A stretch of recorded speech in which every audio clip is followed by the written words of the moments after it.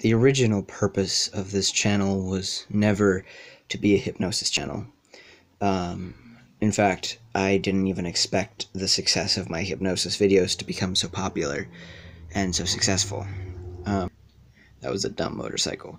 Uh, my hypnosis videos got really popular within the last several months and got thousands and thousands of views, which is something I didn't expect and I didn't know how to process. But um, here's the thing. I I've been going through a lot right now, and I'm, I'm sure you I'm sure you get sick of, of, of YouTubers making vlogs about oh a lot's going on right now. Uh, but that's always the case with people, no matter who you no matter who you watch or, or look at or visit. There's always something going on. And with me, the stress that I'm going through is abnormally and extraordinarily um, high uh, in unusual ways that kind of sensitive for me to, to explain. But long story short, I'm taking a long hiatus from hypnosis. I don't think I'm going to quit it. I'm not sure at this point. Uh, for a while, I wanted to be a hypnotist, a hypnotherapist specifically. Um, but with everything going on, I hardly have the motivation to do anything anymore.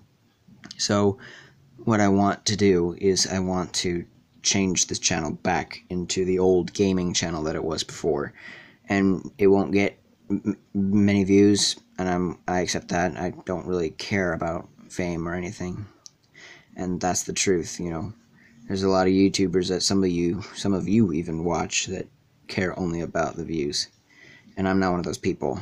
Um, but you know, it, it, it, I am going to miss the the attention that I got, and I'm not gonna lie. I don't I don't like being um, boastful about my success, and I don't even think it's considered considerable as success. It's just that that that feeling that that I got that that I actually got noticed by by, by people that I don't know. There's something about that feeling that was really cathartic for me, and I and I I couldn't I couldn't even process it properly. It was so amazing. I'm not saying oh I'm gonna miss the views. I'm saying I'm gonna miss that feeling of, of acknowledgement. There are other ways for me to, to to find acknowledgement in what I do, and YouTube is not the only place for me to do it. I have other plans in my life. Right now, I'm taking a sort of hiatus from everything. But the point of the matter is that you're probably not going to see any more hypnosis on this channel for a long time.